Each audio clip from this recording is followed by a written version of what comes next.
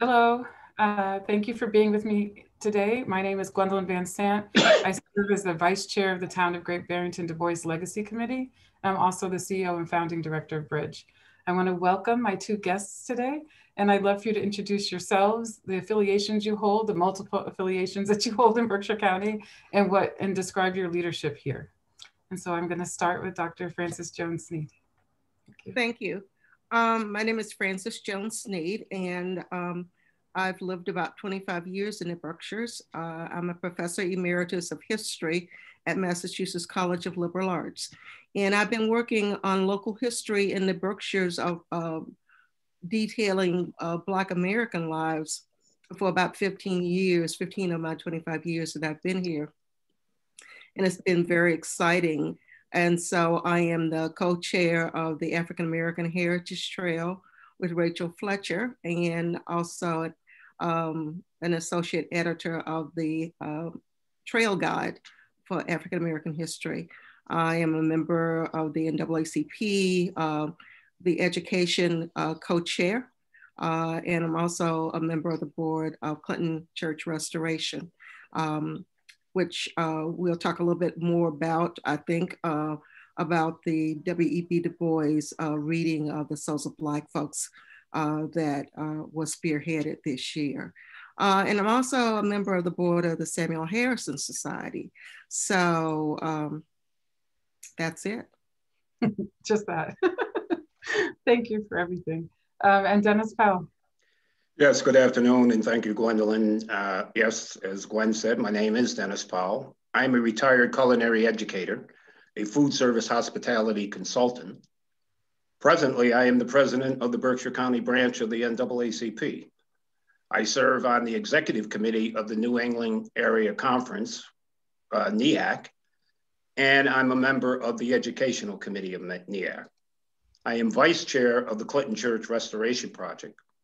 I serve on the board of the Railroad Street Youth Project, the Du Bois Educational Series.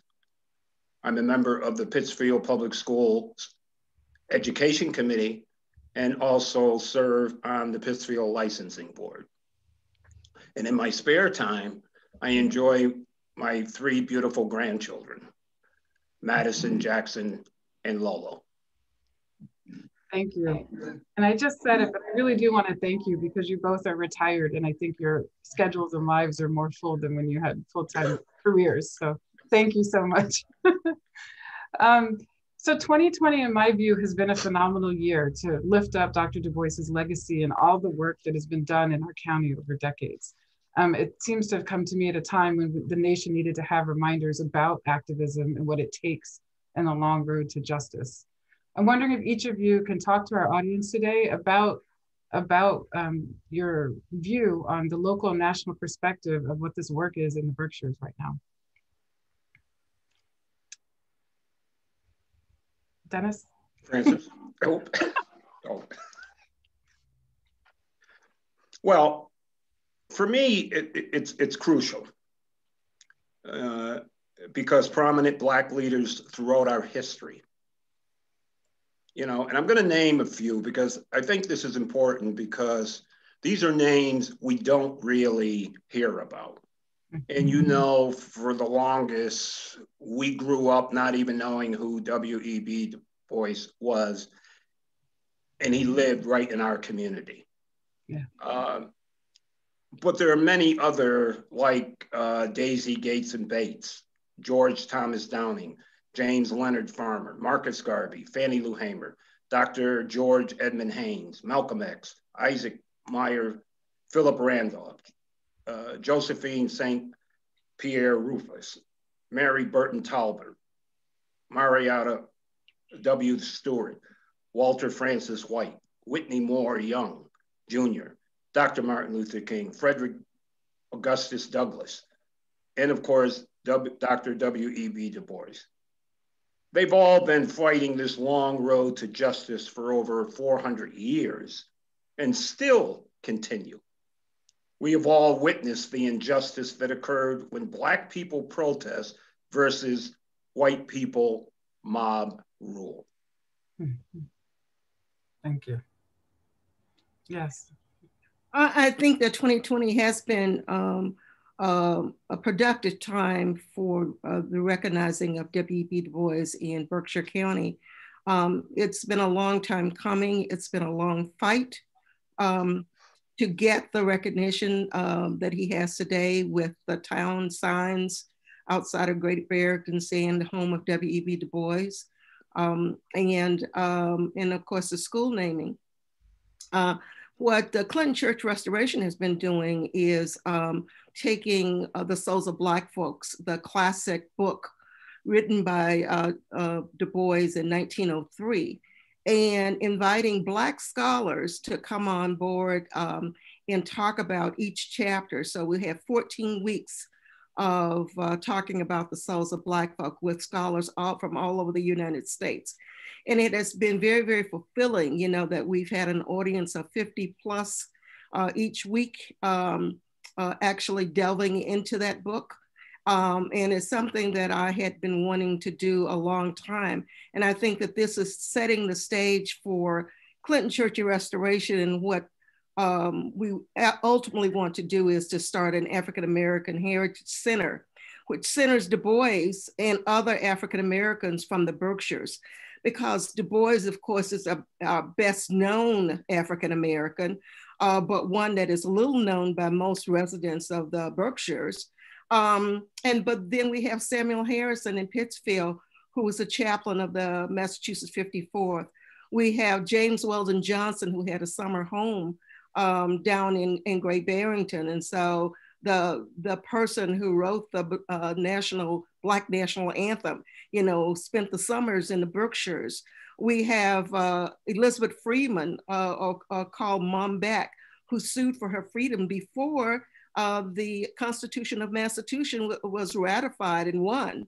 Um, and then we had uh, James Van Der Zee from Lenox, who was the uh, photographer for the Harlem Renaissance. Uh, mm-hmm. Agrippa Hall, who was uh, participated in um, the uh, Revolutionary War uh, with the Polish general Thaddeus Kosciuszko. And those names kind of go on and on and on because, of course, we have the second Black woman, Stephanie Wilson from Pittsfield, who went up in uh, the NASA space uh, rocket and is about to do it again, uh, you know, in 2022. Uh, so all of those luminaries, all of those Black folks that we can kind of name are just the tip of the iceberg of the people that we can name. And so starting with W.E.B. Du Bois, if we can get him recognized um, and, and, especially into the school systems where uh, students will be uh, able to know him, then we can also get the others known and, and, and kind of my goal is to look at the curriculum and to change the curriculum in Berkshire County for Berkshire County students so that they know the full history of the Berkshires and not just the history that has been uh, written. Yeah. Thank you so much. And thank you for sharing the work at Clinton Church and the vision there. Um, as the president of our Berkshire County branch at NAACP, can you talk a little bit about the correlation there with Dr. Du Bois? yeah, uh, let's, you know, we have uh, Dr. Du Bois to thank for the fact that the NAACP, one of the oldest uh, civil rights organizations, um, is still thriving today. He was one of the, the, the founding fathers. And it just showed uh, where his mind was and how important uh, he knew this work was going to be. And it, what, what, I'm so amazed about uh, uh, Dr. Du Bois and especially the, the education that I've received from Dr. Frances Jones Sneed with these with this lecture series is it's like he knew we were going to be in this place and time yeah. we're faced with right now. Mm-hmm because he addresses this. That's the genius of who he was. So for me and for the NAACP, it was important for us that once uh, we rediscovered Du Bois, that that it was important. How do we keep his name forever present? Mm-hmm. So we established the W.E.B. Du Bois Freedom Fund Award. Yeah. Uh, we give out, uh, we had two missions here. Uh, we wanted to recognize and bring forth, as Frances was saying, other luminaries in our history. Mm-hmm. So, one way we've done that is we try to find people within our community whose work sort of mirrors uh, the work of someone in our history. Mm-hmm. So, those awards we give out only once, like we've given out the Shirley Chisholm Award yeah. to uh, Queen Mother Mabel Hamilton, yes. who is the matriarch of our community. Yeah. So she's the only one that will ever receive that award. That's we good. gave the Mary McLeod Bethune Award to Shirley Edgerton.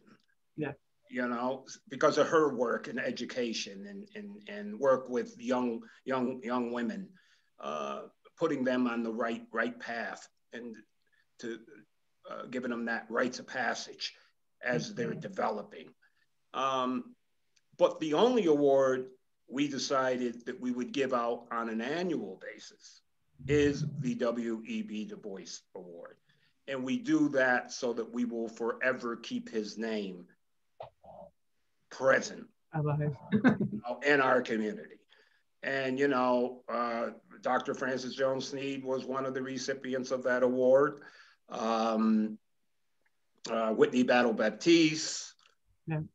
Um, um, Rachel Fletcher. Rachel, wait, actually, Rachel Fletcher received it this year. This year, yeah. Okay, for all of her work. Um, prior to her uh, receiving it was um, Dr. Homer Mead. Thank you. Yes, that's right. I'm, I'm so glad that someone has a memory.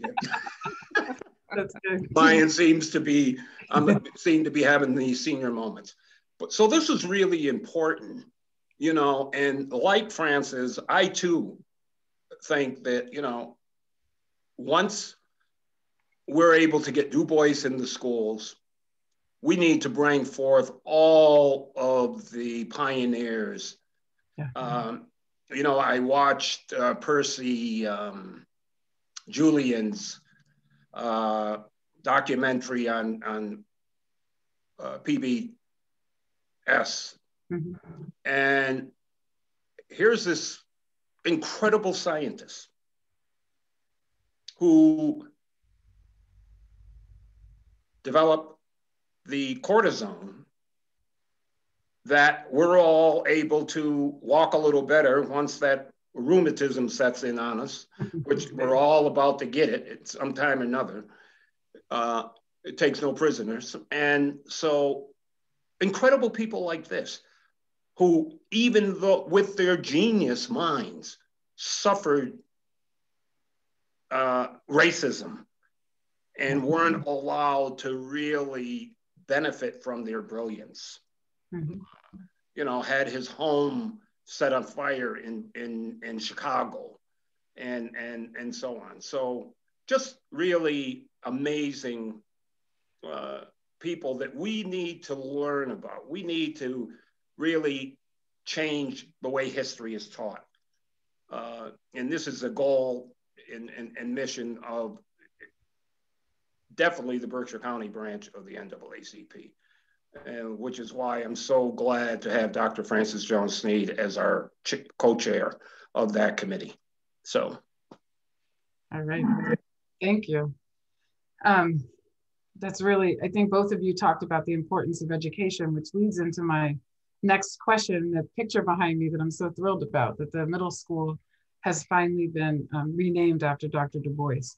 So the two big things in Great Barrington this year was the final posting of this name. The vote happened last year.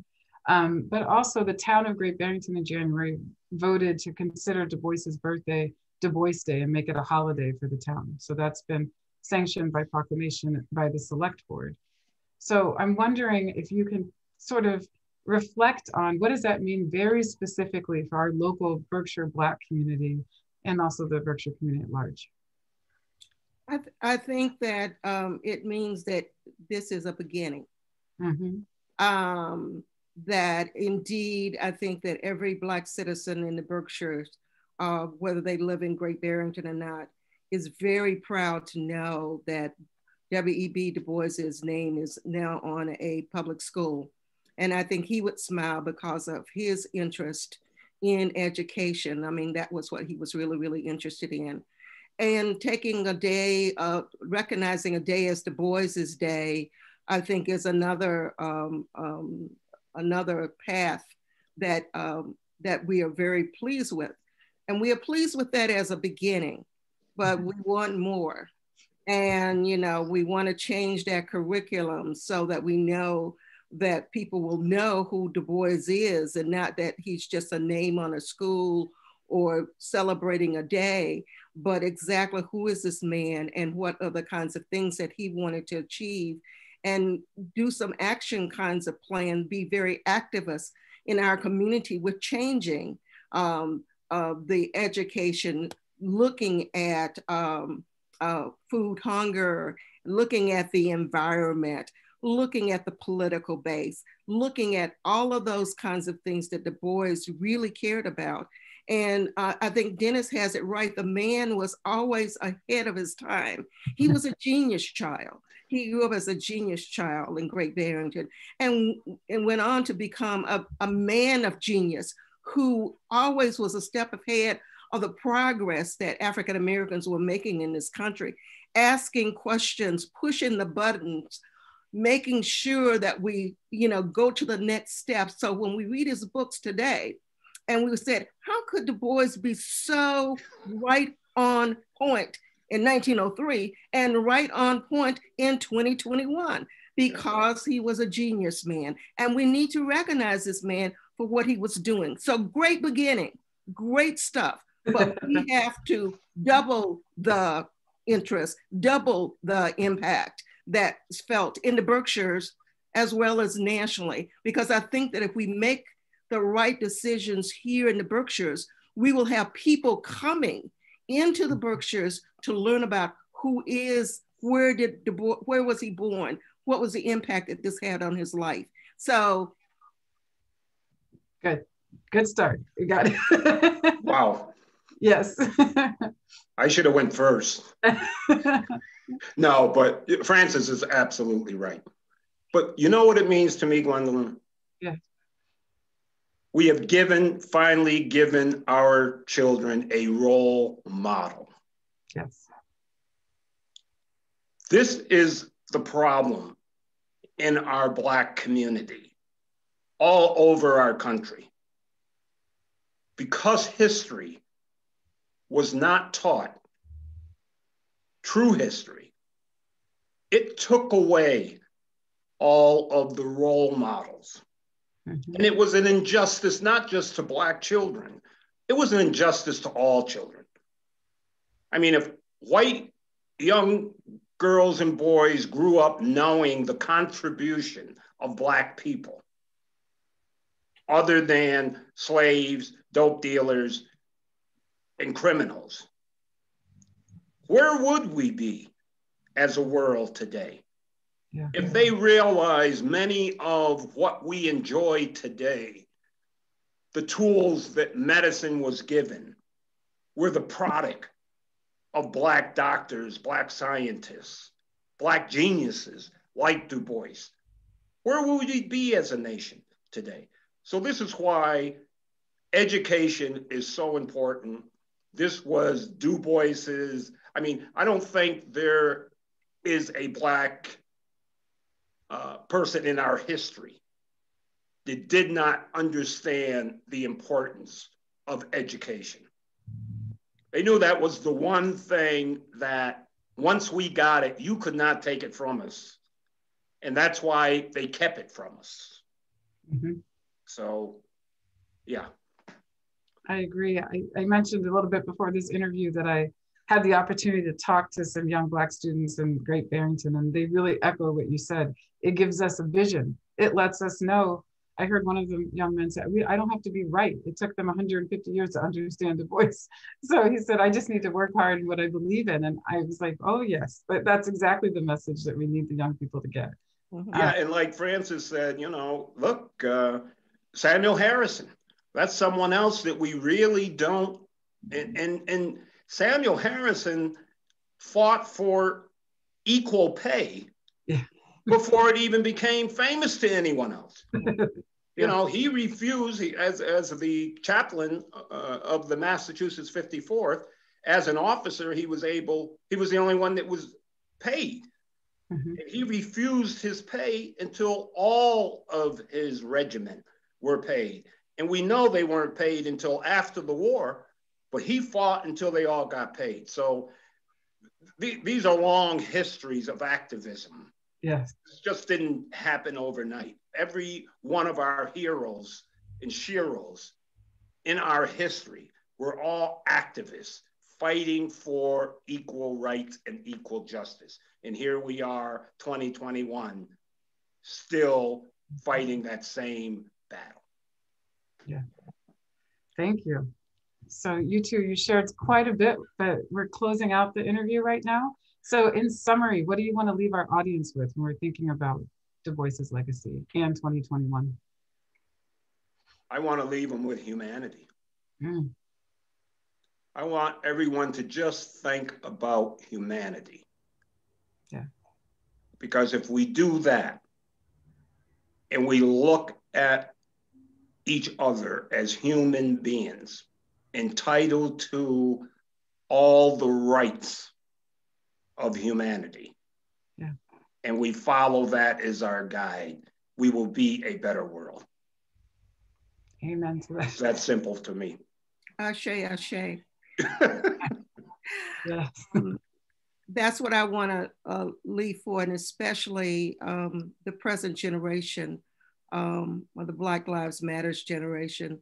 I think that they are so courageous, and I applaud them for wanting to push forward. And that's what we need. Um, is um, we have to be the change we want to see in the world. Yeah. Uh, if we see something, we have to do it.